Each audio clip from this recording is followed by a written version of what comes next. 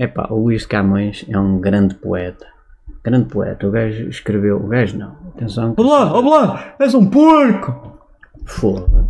Eu estava a falar de uma coisa séria. Pronto, olha, vou falar do, do Hermos Fittipaldi. Era um grande corredor de Fórmula 1, é uma coisa séria.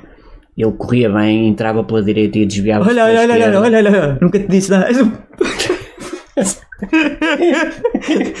Fugiu. És um porco. Não consegui ser sério. Posso falar com, por coisas sérias? Força, força, amigo. Eu vou continuar na cultura. É para a minha vida. Vou continuar na cultura.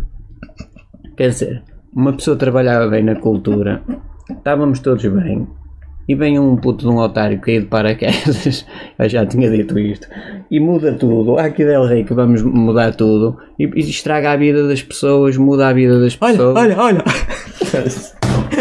És um porco! Obrigado. Eu, eu sei que é um porco, mas olha, daqui a pouco está, está numa grande empresa, ele e outros e todos os ministros. Mas agora vou falar de uma coisa séria que eu até nem gosto muito.